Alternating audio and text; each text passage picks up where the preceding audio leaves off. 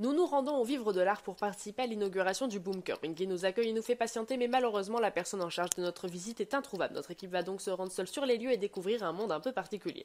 Il faut avouer que OO a fait un très beau travail de décoration. La dernière partie m'a juste émerveillée. J'ai rarement vu une salle aussi jolie.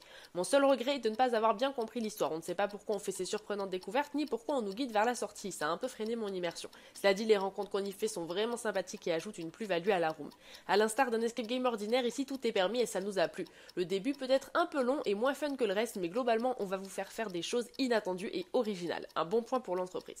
Ce n'est pas une aventure forcément facile. Si vous êtes habitué à des escapes classiques, vous pouvez être dépaysé et donc perdre du temps, mais ici l'objectif n'est pas de faire un record.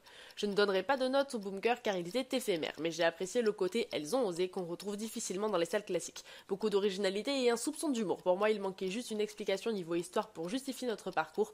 Nous avons passé un très bon moment dans le Bunker, mais je vous en ai déjà trop dit.